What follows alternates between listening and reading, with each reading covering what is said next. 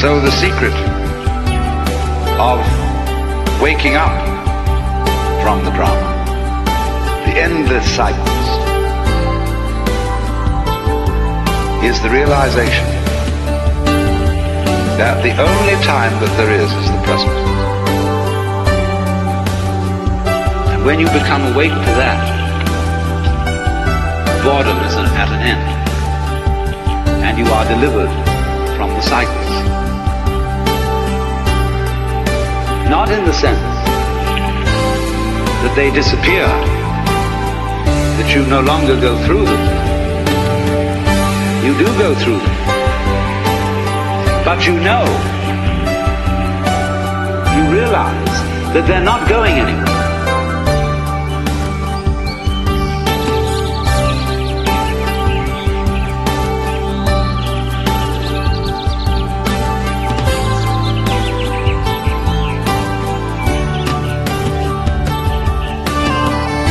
Now then, supposing you liken the rhythm of these cycles to music. Why surely you don't hurry it up.